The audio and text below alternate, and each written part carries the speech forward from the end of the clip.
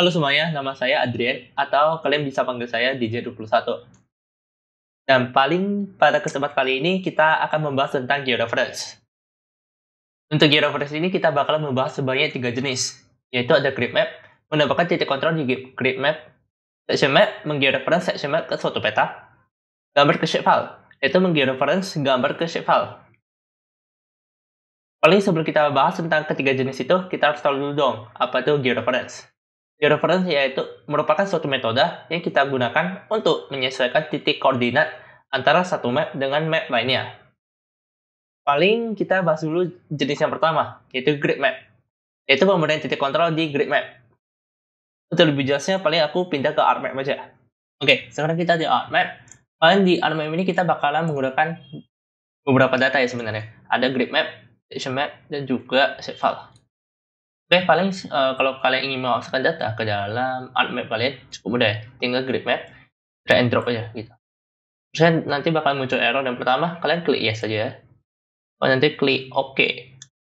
Ini paling kenapa muncul errornya? Soalnya dari kita ini masih unknown unit dan juga petanya belum kena georeference. Atau istilahnya dia masih sembarangan gitu posisinya. Oleh karena itu nanti kita bakalan melakukan georeferencing. Eh, pertama sekali kita sebelum melakukan georeferensi, kita ubah dulu ya unknown unit ini menjadi suatu siswa koordinat. Jadi cukup mudah tinggal klik kanan di layer kalian, properties, baru pilih aja projective coordinate system, baru model world, pilih aja absolute sphere. Lalu secara singkat absolute sphere itu apa? Absolute sphere itu merupakan kalau kalian ingin membuat peta kalian seperti bola dunia. Jadi ya kalau kalian lihat bola dunia itu ya tentunya kayak lingkaran gitu lah ya. Oke. Paling itu doang. Dan paling untuk WGS itu, WGS itu yang penting dia menggunakan satu meter. Nanti ada namanya DMS. Ya, seharusnya ya kita gak terlalu pentingin sih. Ada WGS sama UTM sih yang pakai meter yang paling kita pakai Mac uh, WGS 1984 Web Creator Obsolete Udah klik OK. Dan kalau kalian lihat map kita sebenarnya agak aneh ya warnanya. Kalau kita bandingkan dengan yang aslinya. Ini warnanya agak cerah gitu. Untuk memfix masalah tersebut cukup mudah. Tinggal klik kanan di grid map kalian. Properties. Baru ke tab simbology. Type-nya diganti jadi none. Dari persen klik jadi none gitu. Maka sudah ke face masalahnya kalau udah paling sekarang kita lang langsung lakukan georeference ya? Untuk melakukan georeference kalian membutuhkan tool yang namanya geo georeferencing. Caranya tinggal klik kanan di tab kosong di atas pilih georeferencing. Oke kalian ulangi klik kanan di tab kosong georeferencing. Kalau punya kalian seharusnya masih mengambang gitu. Masih mengambang-ngambang kalau misalnya kalian tidak ingin dia mengambang, ya udah kalian tinggal tarik aja ke atas gitu. Oke, kalau udah paling sekarang kita langsung ke, langsung lakukan georeferensi di, di grid map. Yaitu kita mendapatkan titik kontrol di grid map kita. Caranya cukup mudah, kalian tinggal klik aja di tool yang berwarna hijau dan merah. Hmm. Dan kalau kalian hover itu ada namanya add control point. Jadi klik aja, Baru jangan lupa itu kalian pilihnya si gridmap.png. Kalau udah, paling sekarang kita tinggal pilih titik posisi yang kita ingin lakukan georeferencing. Dan untuk memilih titiknya sebenarnya suka kalian. Kalian mau sembarangan atau enggak. Kalau aku ya aku menggunakan prinsip pilih yang sudut sih. Jadi aku pilih sudut sini, ini, ini dan sini. Ya lebih jelasnya nanti pas zoom in sih ya pokoknya di setiap sudut lah aku pilihnya. Oke jadi kalau kalian sudah menentukan titik yang kalian inginkan tinggal klik aja gitu. Klik. Baru klik kanan. Nah di sini ada dua input yang dapat kita lakukan. Input x and y and input dms of longitude and latitude.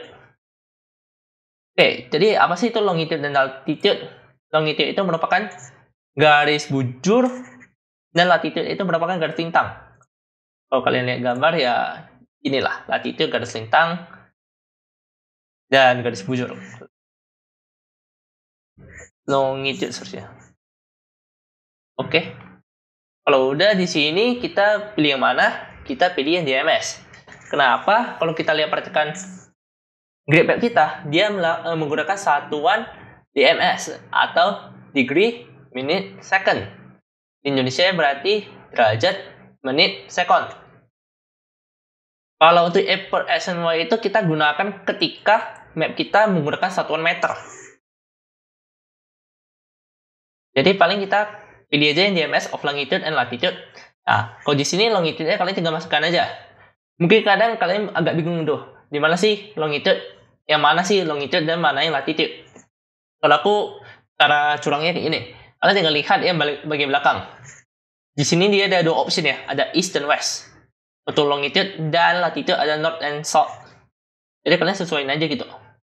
Jadi yang pertama berarti kita tinggal masukin 103 48 30 dan pilih yang is baru latitude-nya kita ubah jadi 1 15 30 untuk shortcut-nya ini cukup mudah ya kalian tinggal tap-tap aja gitu. Atau shift tab untuk ke input field sebelumnya. Dan jangan lupa ganti jadi 0 berklik OK nah mungkin kalian agak bingung nih kenapa memang hilang soalnya dia sudah mulai menyesuaikan dengan sisi koordinatnya oleh karena itu, kita tinggal klik kanan di layer kita yang bernama Grid Map. Pada zoom to layer. Maka kita bakalan fokus ke mapnya. Oke. Paling di sini aku tadi lupa ajarin satu shortcut. Yaitu ketika kalian ingin menggunakan pen. Sebenarnya kalian bisa gunakan dengan menggunakan dengan menekan middle click. Ya, istilahnya middle click lah. Kalian middle click tinggal drag aja gitu. Drag ke arah mana aja. Sehingga kalau kalian ingin melakukan georeferencing lebih mudah. Gak usah kayak capek-capek banget gitu. Pilih pen, baru pindah lagi gitu. Agak ribet kan nantinya. Eh, kalau udah paling aku sambung lagi ke titik yang bawah. Sudut kiri bawah. Pilih klik kanan DMS of longitude latitude. Baru tinggal ganti aja. Kalau udah, tinggal sambung lagi. Di sini kita bakalan melakukan titik kontrol sebanyak 4, 4, 4 ya. Ya, minimal 4 untuk quiz kalian. Dia paling bikin 4 aja. Atau lebih boleh-boleh aja. Cuma kalau 4, kalau udah aman, ya pilih 4 aja sih. Ya tinggal ulangi lagi, berarti 103, 50, 30. Per 1, 14, 30. Kalau udah, tinggal sambung lagi ke yang paling atas. Udah klik OK aja. Nah, ada empat jenis, sekarang kita bakalan lakukan fueling table. Tinggal pilih yang ini ya, yang paling atas lah. Oke, di sini paling kita bisa lihat kita sudah melakukan empat link. Cuman di sini yang kita paling penting itu minimal 4 link dan RMS errornya. Kalau kalian uh, kalau untuk quiz kalian harus di bawah satu. Cuma karena di sini aku cukup gede, errornya soalnya aku kurang zoom in. Paling nanti aku bakalan ulangi aja, misalkan aku hapus yang empat nih. Kita tinggal cari aja gitu. Yang bikin gede apa gitu. Misalkan aku hapus empat, aku input DMS lagi. Kalau misalkan tadi empat ini aku ubah, maka dia langsung jadi 0,9 gitu. Ya kalian tinggal cari-cari aja gitu. Dan untuk menghapusnya tadi cukup mudah ya. Kali tinggal misalkan aku sembarangan ini. Sembarangan, input DMS. Ya, klik OK aja. Satu, misalkan satu. Satu. Nah, gini satu. Nah, kalau misalkan kalian sembarangan, selesai kalian bisa ketahuan gitu. Oh, rupanya ini mapnya jadi hancur gitu.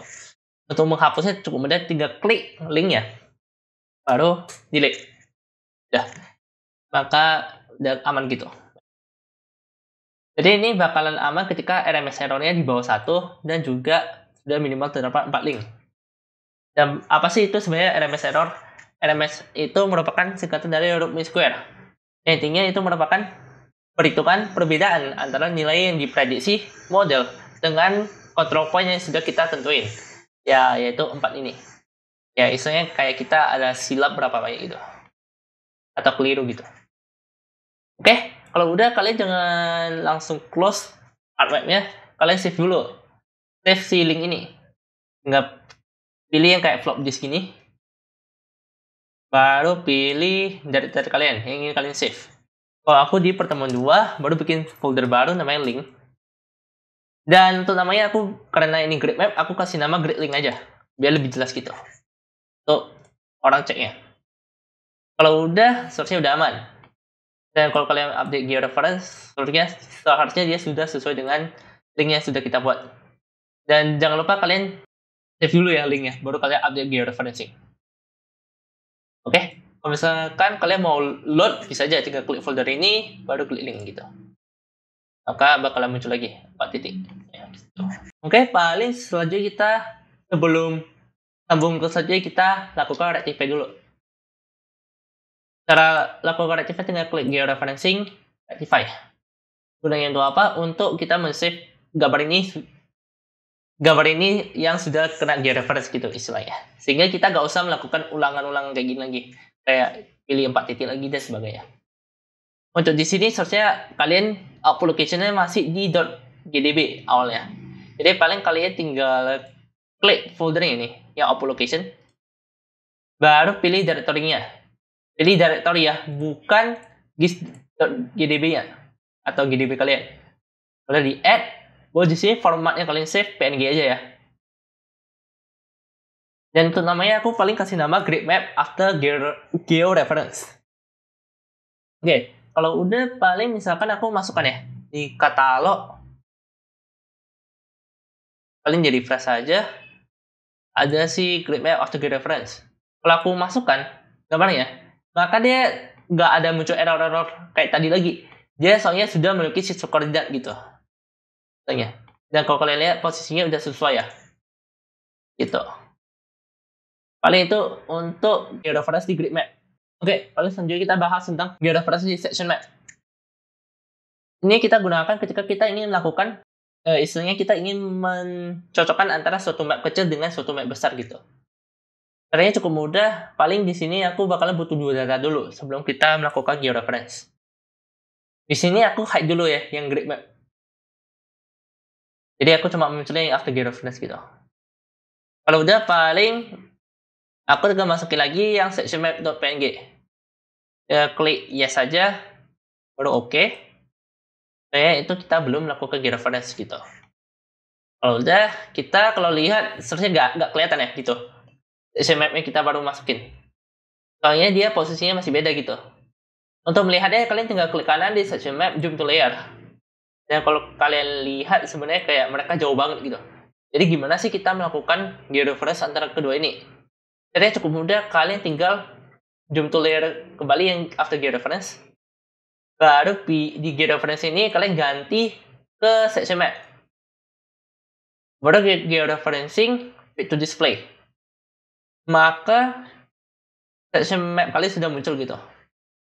Dan untuk melakukan georeference di sini cukup simpel ya kalian tinggal melihat antara kedua map ini mana titik ujungnya yang mirip gitu. Misalnya aku biasanya aku pakai titik ujung sih biar lebih jelas gitu. Kalau aku lihat kan titik ujung ini dan ini mirip. Ya udah aku tinggal klik aja add control point. Diklik baru diklik lagi. Antara kedua map yang berbeda. Maka dia secara tidak langsung bakalan menyatu gitu. Dan di sini kalian bakalan buat empat juga titik kontrolnya. Jadi kalian satuin aja gitu. Kalian aku percepat aja, eh aku tunjukin lagi beberapa, baru nanti aku percepat. Mungkin ini agak sulit deh kalau kalian perhatikan, dia kayak mapnya gede banget, tapi di gede map ini kecil banget. Jadi kalau kalian agak kesusahan, kalian tinggal ancek aja gitu. Jadi kalian bisa lihat sekilas gitu mapnya. Atau berarti kalian klik dulu, misalkan ujungnya ini aku klik. Baru aku uncheck dulu section mapnya, baru kita cari aja ujungnya. Jadi kita tinggal klik aja gitu. Maka kalau kita munculin lagi, dia bakalan lebih lengket lagi gitu. Dan ulangi lagi untuk keduanya.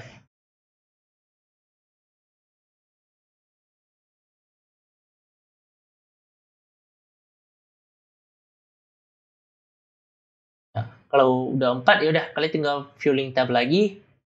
Kalau kalian perhatikan, NMS errornya 2,6. Ini tidak apa soalnya di quiz kalian maksimumnya di bawah 5 kok. Jadi nggak boleh lewat dari 5 aja. Dan 4 titik kontrol. Kalau udah seperti biasa save, di sini aku kasih nama sectioning aja. Klik save. Kalau udah jangan lupa rectify lagi ya. Tinggal klik georeference, rectify. Sama seperti tadi, jangan di GDB-nya, melainkan di folder yang ingin kalian save format ganti, ganti jadi PNG, baru namanya ganti jadi section map after georeference saja. Udah klik save aja, maka sudah aman. Untuk georeferencing antara gambar dengan gambar lainnya gitu. Ya, istilahnya benar kan? Yaitu kalian mencocokkan antara suatu koordinat dengan eh, suatu peta kecil dengan peta besar gitu.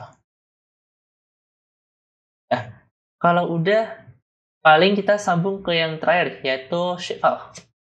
Selanjutnya kita bakalan sambung ke georeference di shapefile. Untuk georeference di shapefile ini paling aku uh, import data dulu ya. Di sini ya tadi aku hide dulu sih sebentar. Dan di sini paling untuk import datanya cukup mudah, tinggal klik add data. Baru pilih aja shapefile yang kalian ingin import. Kalau aku di skp admin, baru skp admin 0 tadi yang .shp lah intinya bloknya. Nah, di sini paling aku melakukan georeference dengan section map aja ya. Paling di sini section mapnya aku pakai yang baru aja deh, yang bukan hasil georeference. Ini kalian anggap shapefile-nya udah kena geo georeference ya, sedangkan section map mapnya belum gitu.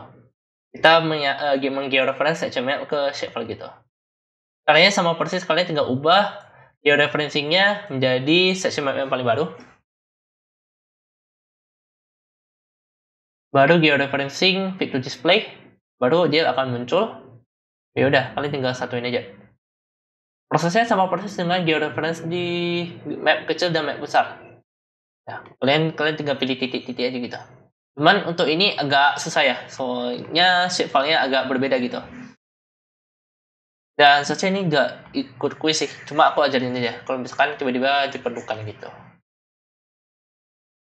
Kayak Nah, jadi kan dia bakal agak mirip. Cuman untuk miripnya agak susah, itu aja sih. Misalnya kayak gini kan kita bisa gaping gitu, kita nggak tahu salah atau enggak. Jadi tinggal hapus ya. Oke, paling ini kalau kalian mau butuh boleh beli aja gitu. Ya, paling itu sekian materi untuk georeference. Sekian dan terima kasih.